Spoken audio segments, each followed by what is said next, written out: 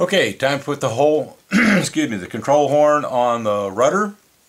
And uh, the airplane's pointing this way. This is the left side of the rudder. Okay, and the left side of the rudder is not the right side where the um, elevator control horn is. So on the left side, that's the left side. I'm going to turn it over and set it down like this. Okay. Then I'm going to get my uh, rudder bag out. My elevator bag is finally empty. Actually, not quite empty. It still has the, the clevis with the um, fuel tubing on it. Um, but let me get out the rudder and get out it rudder bag, get its control horn out.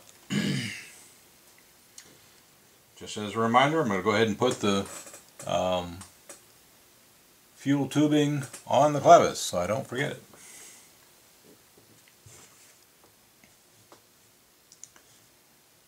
Okay, so um, not much different. The drawing says to have this um, in line with the gap and one eighth from the bottom down here. One eighth of an inch up from the bottom, so down a little bit more maybe, just like that. So, um, no different. I'm not going to film this. You can you can probably do this one. One more tip about the rudder uh, control horn. If you look at this picture very carefully, it is exactly how it should look. So it's not quite parallel to this, it's not quite parallel to that, uh, but actually this top portion is in line with um, the rudder and you're an eighth, inch from the bottom. So follow that drawing very carefully. It's exactly right. Okay, um, rudder control horn is on.